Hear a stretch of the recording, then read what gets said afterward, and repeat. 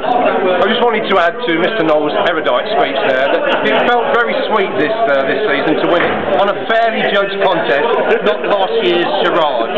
Anyway, up your arse, Bertie.